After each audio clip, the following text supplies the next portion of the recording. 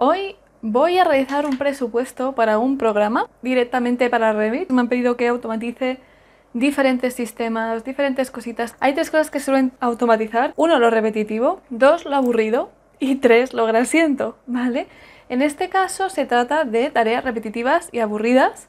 No son grasientas, puesto que no implica que un obrero esté trasladando material de un lado a otro o ensuciarse. Así que estamos hablando de tareas repetitivas y aburridas en cuanto a lo que quieren automatizar.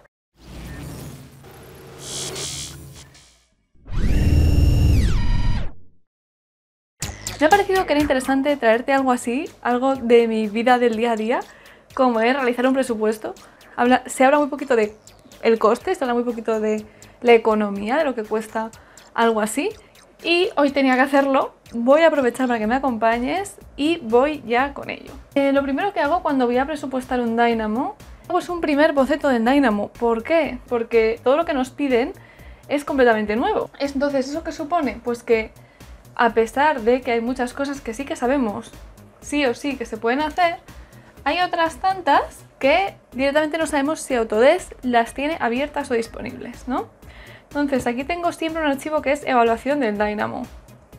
Y esta es la pinta que tiene mi evaluación. Es una cosa muy sencilla de... Es un, como un primer boceto de lo que debería hacer el Dynamo.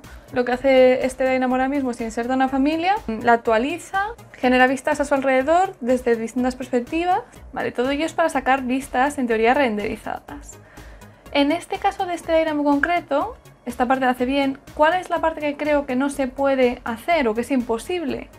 La parte de la renderización. Esto, para ver si es posible o no, porque a ver, una vez estaba yo viendo pues cómo hacer presupuestos, algún directo de cómo hacer presupuestos de algún compañero de profesión y decía que sí o sí siempre digas que es posible hacer lo que te piden, porque si no lo haces tú, pues lo va a hacer otro compañero, etcétera, etcétera. Eso tiene sentido para los trabajos de arquitectura, ¿vale? Porque tú sabes que la gente no te va a pedir que construyas un castillo flotando en una nube. En general la gente sabe eh, las leyes de la gravedad, etcétera, etcétera. Pero en programación puede que simplemente las cosas no se puedan hacer, pues porque la API, el programa no esté abierto para ello, por ejemplo, ¿no? Entonces lo que hago cuando no sé si algo se puede hacer o no, o no he tenido la experiencia de hacerlo, como por ejemplo en este caso hay una parte que es de renderizar automáticamente, que yo sí que creo que no se puede hacer, ¿eh? o sea, ya directamente te lo digo. Y directamente en la reunión se lo dije al, al cliente, pero déjame comprobarlo. Entonces cuando busco render en la API, ya de primeras me viene failure, family rendering type property, estas son como propiedades, get rendering quality settings, y parece que todo va orientado como hacia establecer los settings del, render, pero no a renderizar. Rendering regions, estos son eh, miembros, ¿vale? Entonces digo, bueno, pues tiene pinta, tiene pinta de que, de que va a ser que no. En este punto, por supuesto, también decido darle una oportunidad al querido Google y preguntarle a Google para ver si encuentro algún genio que tenga esto desarrollado. Spoiler alert, lo busco pero no sale bien, así que como sí que hablo bien cuando encuentro a alguien, hablo del nombre de quien lo hizo bien, pero no del que lo hizo mal, directamente te salto este trozo. No había nada parecido a lo que queríamos. Si estás viendo este vídeo y tú sabes cómo hacer una renderización de este Dynamo, por favor déjamelo saber, aunque en principio por lo que dice la API parece que no es posible hacerlo. Eh, me han pedido también que tenga unos controles el, el Dynamo, que ellos puedan ir seleccionando, que se dé la vuelta a los objetos en función de su altura y esta parte de renderizado que ya vemos que con la API no es posible. Así que dos de tres que son posibles. Después lo que haría sería fijar los conceptos en el presupuesto. Entonces mi estimación de, de plazos de esto ya tengo una base pero siempre el cliente te va a pedir que se ajuste realmente a lo que ellos están buscando o que le pongas un control de una forma o de otra o no les funciona para excepciones, ¿vale? Entonces todo eso tengo que tener en cuenta. Si yo hiciera esto directamente y lo pudiera entregar tal cual está, igual tardaba una semana en, ponerlo bien, en dejarlo justo como me han dicho en lo inicial.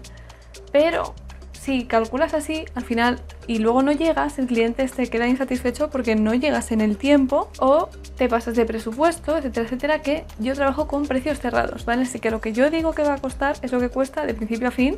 Ahora, por eso tengo que diferenciar tan tan bien cada uno de los subcapítulos en el presupuesto. En mi estimación lo dejo solo en una hoja. ¿Estás grabando ahora? Pues claro que estoy grabando. Te dije que tenía que grabar un vídeo para hoy. Un minuto exacto. Esto es como la vida misma, chicos y chicas. Esto es lo que pasa en la oficina de periodistas de todos los días.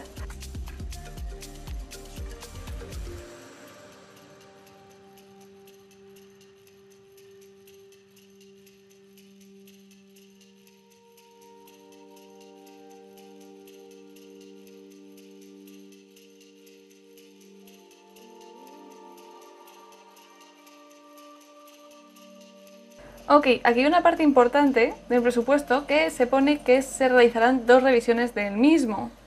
Y esto es importante en cualquier tema que hagáis de, diseño, de programación, el especificar las cantidades de revisiones que incluye el presupuesto inicial, puesto que si no, todo puede ser susceptible de cambiarse un millón y medio de, de veces, ¿vale? Así que os recomiendo siempre incluir esa parte.